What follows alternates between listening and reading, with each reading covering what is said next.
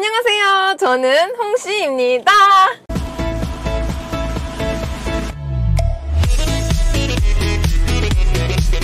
올해의 신차 소식 두 가지 중에 나머지 한 가지를 가져왔어요! 가격에서 놀라고 디자인에서 또 한 번 놀라게 되는 혼라이프 젊은 층에게 아주 어울리는 차예요. 오늘은 현대에서 나온 소형 SUV 베뉴입니다.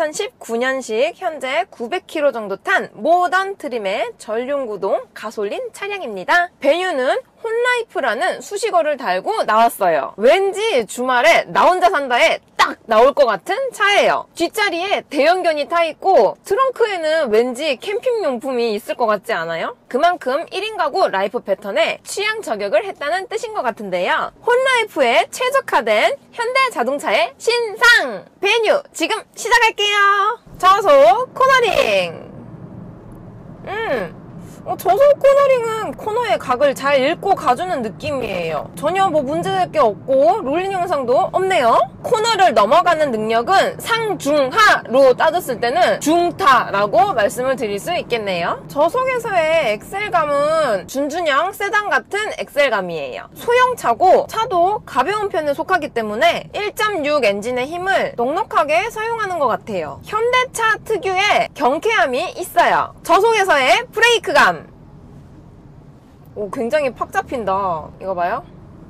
어, 조금 이렇게 제가 앞으로 쏠리죠? 브레이크를 잡으면은 차 앞쪽에 보닛이 가라앉는 현상은 없어요. 앞쪽의 서스펜션이 약간 딱딱한 편인 것 같아서 몸만 관성 때문에 앞으로 좀 이렇게 쏠린달까? 그래도 브레이크의 민감도는 굉장히 좋은 것 같아요. 저속에서의 급 차선 변경 안전거리를 확보하고 있어요. 오, 셀토스랑 비슷한 것 같아요. 이것도 좌우가 좀 끼우뚱거리는 그런 느낌이 있어요. 어, 이거 봐. 와! 어, 이거 fishtail 장난 아닌데? 셀토스가 띠뚱띠뚱이었다면은, 베뉴는 띠뚱, 띠뚱 이러는 것 같아요. 차는 셀토스가 더 큰데, 띠뚱거림의 무게감은 베뉴가 좀 더 무거운 것 같아요. 저속에서의 주행감은 아반떼와 K3와 같이 powertrain과 엔진에 있어서 공유하는 부분들이 많아요. 그래서 그런지 모르게 주행성이 비슷하다고 느껴져요. 노면 상황을 보여드리도록 할게요.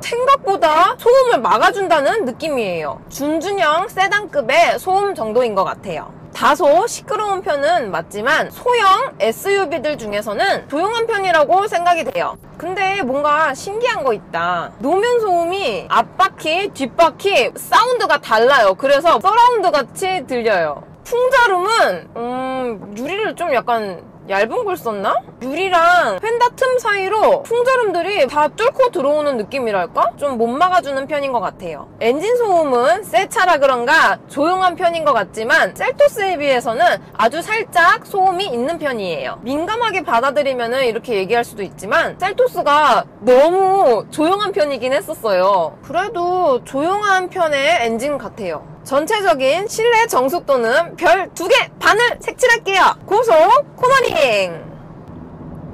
오 근데 롤링 현상이 많이는 없어요. 코너의 각은 굉장히 잘 읽고 가주는 느낌이에요. 서스가 hard한 느낌이라서 롤링을 잘 받아주는 것 같아요. 고속 코너링도 참 잘했어요! normal 모드로 저속에서 고속으로 풀악셀! 와 풀악셀을 밟으니까 배기음이 왕 나오면서 호쾌함은 느껴지는데 팡! 튀어나가는 느낌은 아니에요. 소형 SUV다 보니까 공기 저항에 있어서 불리하잖아요. 그런 영향을 받는 것 같기도 해요. 스포츠 모드로 바꾸고 고속에서 고속으로 풀악셀! 야 이거 아주 배기음은 아주 마세라티 팍 치는데 스포츠 모드도 잘 나가주는 편이긴 하지만 노멀 모드와 스포츠 모드의 차이점이 크게 안 느껴지는 주행 성능이에요 RPM을 3500 정도로 쓰거든요. 좀 더 써도 될 것 같은데 억지로 가지 마 하면서 잡아두는 느낌이 있어요. 앞머리가 좀 약간 흐트러질 정도의 아주 살짝의 격함밖에는 안 느껴져요. 보속에서의 브레이크감, 안전거리를 확보하고 있어요. 브레이크감은 아주 감도가 좋아요. 딱 잡으면은 이거 봐. 이렇게 슝슝 쏠려요. 브레이크감이 셀토스처럼 빳빳한데 셀토스에 비해서 이만큼 부드럽게 잡히는 느낌이에요. 고속에서의 급 차선 변경. 와! 와! 이거 fishtail 너무 심해요. 어, 어우, 오 이거 안 되겠어 이거. 고속 직진성은 좋아요. 근데 차선 변경을 하니까 불안감을 많이 느끼게 돼요. 차체가 높아서 그런지 모르게 뒤뚱거림이 좀 더 크게 느껴져요. 제가 타고 있는 차량은 15인치 휠을 쓰거든요. 17인치 휠 정도 쓰면은 조금 더 안정감이 느껴질 것 같기도 해요. 고속에서의 전체적인 주행감은 도로 흐름을 주도할 수는 없지만 뒤처짐 없이 묻혀서는 잘 다닐 수 있을 정도예요 시야각은 SUV답게 높아서 그런지 대체적으로 좋은 편이라고 생각이 드네요. 사이드미러 사이즈가 굉장히 와이드해요. 그래서 이거 되게 만족스러워요. 시트 착자감은 새 차라서 그런지 모르게 등허리가 아플 정도로 딱딱하다라는 느낌이에요. 서스펜션이 하드하면 하드할수록 시트는 조금 더 소프트하게 잡아주는 게 승차감이 좋더라고요. 주행 시 느껴지는 서스펜션의 느낌도 하드한 편인데 시트 착자감도 하드해요. 장시간 운전을 하면은 허리가 아작날 것 같다는 느낌이에요. 2시간 정도 주행을 했는데 고속 주행 시 연비는 25 정도 나오네요. 연비가 25라니 세상에나! 서스펜션의 감도가 얼마나 소프트한지 하드한지 알아보기 위해서 방지턱을 넘어보도록 할게요. 콤돌이 씨도 같이 지켜봐 주세요. 첫 번째 방지턱은 천천히 오. 두 번째 방지턱은 약간 와일드하게. 세 번째 방지턱은 스피드감 있게. 주행할 때 느꼈던 것처럼 하드한 편인 것 같아요. 앞바퀴가 방지턱을 이렇게 넘어갈 때 앞쪽의 느낌은 아주 조금 부드러워요. 근데 뒤쪽의 느낌은 철푸덕하는 낙차가 크다고 느껴져요. 뒷자리에는 사람이 안 타는 게 좋을 것 같아요. 베뉴에도 셀토스처럼 험로 주행 모드가 따로 있는 트림이 있어요. 제가 타고 있는 차량은 주력 트림인 모던 트림이지만 험로에 관련된 트랙션 모드는 없네요. 근데 현재까지의 주행 느낌을 보면은 별도의 트랙션 모드가 달려 있다고 하더라도 경험해보지는 못했지만 오프로드를 자신감 있게 갈 수 있는 느낌은 아니에요. 급격한 코너를 돌면서 스티어링 휠 조향감을 느껴볼게요. 핸들을 거의 끝까지 꺾도록 해보겠습니다.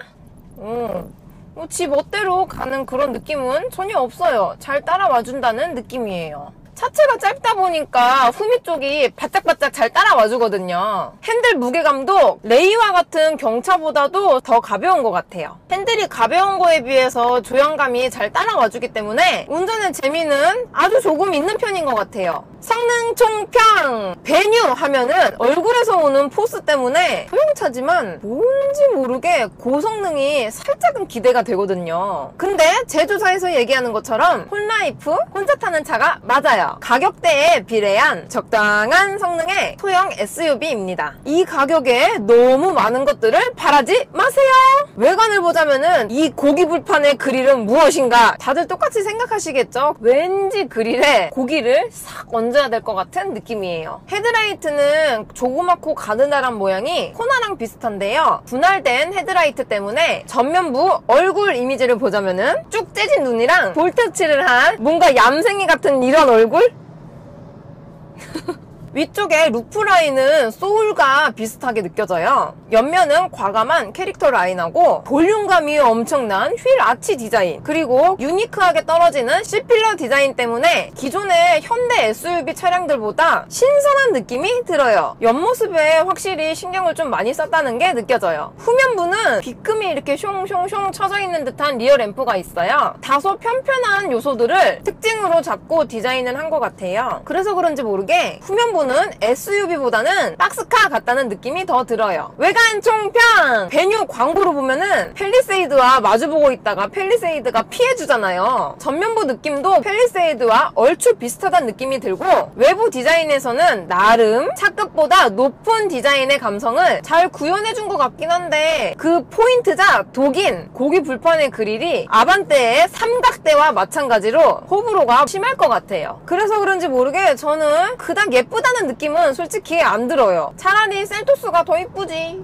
내부 디자인은 전형적인 소형차 타입인 것 같아요. 센터페시아를 보면은 적당한 사이즈의 터치 디스플레이 내비 화면이 있어요. 송풍구와 더불어 양 옆에 은색의 베젤이 이렇게 한 바퀴 샥 감아져 있는데 이질감 없이 통일이 된 느낌이에요. 하지만 이 센터페시아의 디자인을 제외하고는 나머지 디자인은 다른 차들과 차별성이 딱 안 느껴지는 디자인이에요. 계기판도 전형적인 현대차의 계기판 디자인인데 공조 장치들은 아반떼랑 흡사 해요. 스티어링 휠도 아반떼랑 똑같다는 느낌이에요. 전반적으로 아반떼의 디자인을 많이 가져온 것 같다는 느낌이에요. 스티어링 휠 얘기를 했으니까 크락션 소리를 한번 들어보도록 해볼게요. 베뉴의 크락션 소리는 어?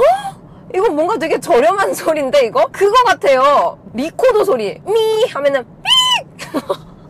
셀토스는 전면부만 하더라도 세네 번씩은 변화가 되면서 다양함을 느낄 수 있는 디자인을 보여줬었는데 베뉴에서는 다 그냥 플라스틱 파티예요. 엄청난 변화는 없지만 지루하지는 않아요. 질감의 변화와 무늬의 변화라고 할까? 물론 자세히 보면 저렴해 보여요. 하지만 그 안에서 최대치를 끌어올린 것 같다는 느낌이에요. 문짝을 보시면 이해가 쉬울 거예요. 그냥 통짜 플라스틱인데 은근한 shape이 적절히 살려는 줘요. 그나마 가죽을 느낄 수 있는 핸들은 전에 탔었던 소나타 DN8과 마찬가지로 버섯 포자의 느낌인 것 같아요. 이 암레스트는 아주 조금의 쿠션감이 있는 재질인데 저는 이게 좀 마음에 안 들어요. 내부의 소재 선정을 할 때 손에 많이 닿는 부분은 가죽을 포인트로 착착 잘 써주면은 만족감이 많이 올라가거든요. 혼 life를 즐기는 사람들이라면은 이러한 만족감을 중요시 여길 것 같아요. 내부 총평!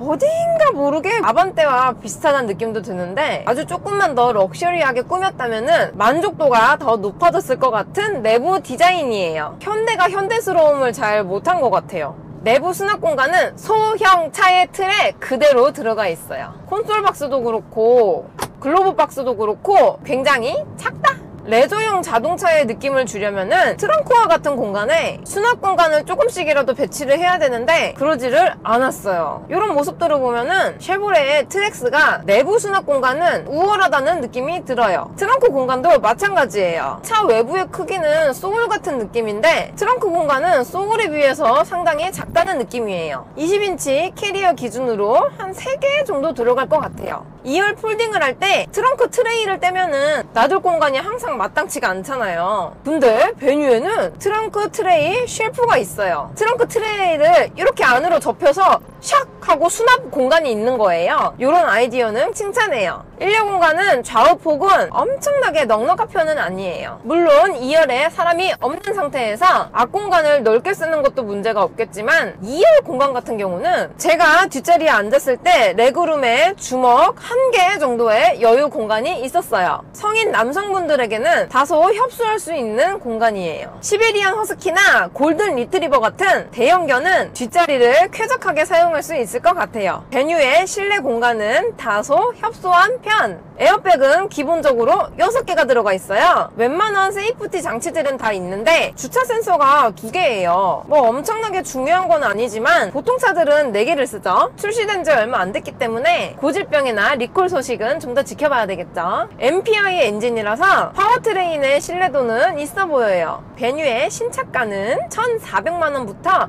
2,100만원까지 형성이 돼 있어요. 제가 오늘 타고 있는 주력 트림인 모던 트림은 1,800만원 인데 1,800만 원으로 베뉴의 모던 트림을 살 것이냐 안 살 것이냐 두구두구두구 만약에 첫 차였으면은 탔을 텐데 첫 차가 아니기 때문에 음, 안 살 것 같아요. 혼life를 하는 사람들에게는 가성비보다는 가심비 나름의 럭셔리를 추구하는 추세가 강해요. 시승을 하기 전에 상상을 했었던 베뉴는 지프 레니게이드와 같이 small luxury를 상상을 했었거든요. 혼 life라면은 나에게 투자를 하는 것인데 베뉴에서는 가심비보다는 가성비가 더 많이 느껴졌어요. 물론 첫 차로서는 끝내주는 가성비와 혼life 캠핑족들이 굉장히 좋아하는 트렁크 밑판 luggage 2단 보드와 같은 실용성까지 겸비한 혼자 타야 좋은 차 현대 베뉴였습니다. 오늘도 저의 영상이 재밌고 도움이 많이 되셨다면 좋아요와 구독을 꼭 눌러주세요. 다음에 또 뵐게요. 안녕!